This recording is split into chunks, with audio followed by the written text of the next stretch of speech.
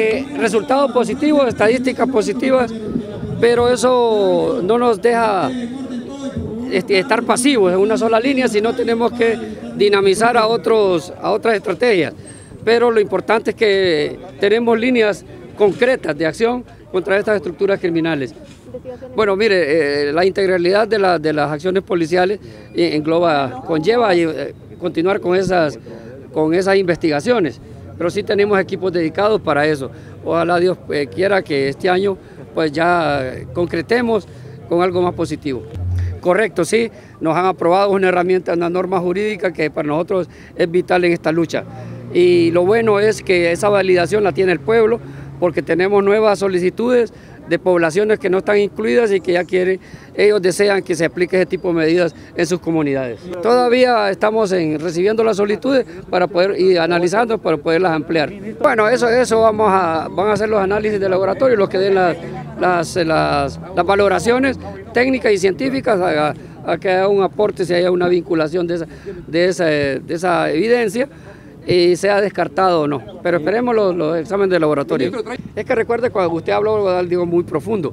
Lo social es un, poquito amplio porque eso escapa a, no solo a seguridad, sino al tema, al tema socioeconómico del país, a la productividad, generación de empleo, a, mayor inversión eh, en, en, todos los niveles. Entonces la ocupación... de seguridad, ministro?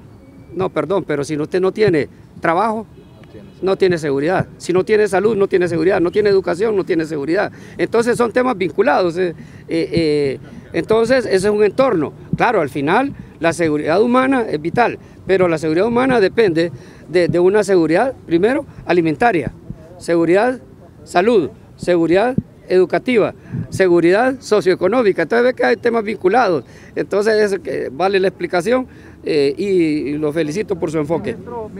Claro, eh, mire, les quiero explicar, esta es una primera fase y que queremos extenderla, pero vienen otras fases, ya un poquito más de, con, dedicadas, pero dejémoslo hasta ahí, pero sí se contempla la extensión. No, otro por favor. ¿Se va a requerir de más presupuesto el próximo año? Claro, claro, y presupuesto a actividades dirigidas, puntuales. Lo, lo que sí deseamos es que dejar en el, en el imaginario social y en el consciente colectivo del pueblo hondureño que estamos dedicados, eh, enfocados en resolver la problemática y no vamos a bajar el pie del acelerador.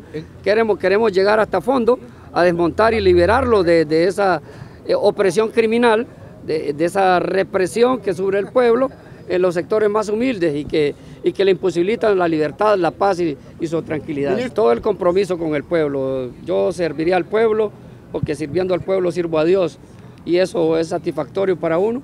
Y, ese compromiso, Dios, le pido fuerza, mayor fuerza, mayor sabiduría para enfocarme desde, en, el 100% de mis facultades que Dios me otorgue para brindarlo al, pueblo hondureño. ¿Qué tiene que decirle a los transportistas, ministro, que dicen que siguen las extorsiones? No, es que quedan retos y desafíos pero hay gente liberada. Recuerde que el mismo transporte del mismo transportista han sido capturados.